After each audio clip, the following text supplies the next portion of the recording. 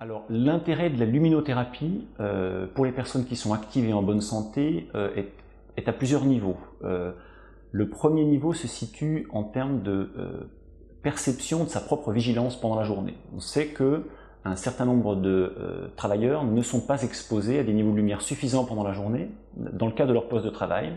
La loi concernant le travail maintenant oblige à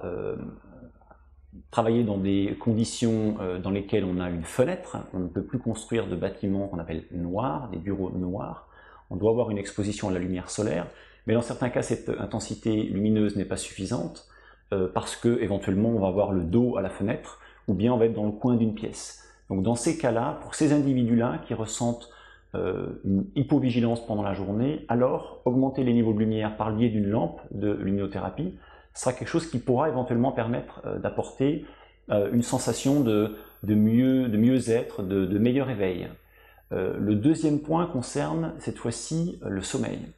certains individus sentent que leur sommeil est de qualité modeste, ont la sensation de se réveiller souvent, ont la sensation de se réveiller en étant fatigués, et bien dans ces cas-là, une approche est effectivement d'augmenter son exposition à la lumière, soit en passant plus de temps à l'extérieur, qui est évidemment la première chose à laquelle il faut penser. Et euh, quand ça n'est pas possible, parce que les conditions ne le permettent pas toujours, eh bien là, il faut imaginer pouvoir utiliser une lampe qui va apporter euh, des niveaux de lumière qui vont avoir un effet sur le sommeil parce que leur effet synchronisateur sur l'horloge biologique et leur effet activateur de certaines structures impliquées dans la veille et dans le sommeil euh, va conduire à une amélioration, dans certains cas, de la qualité du sommeil.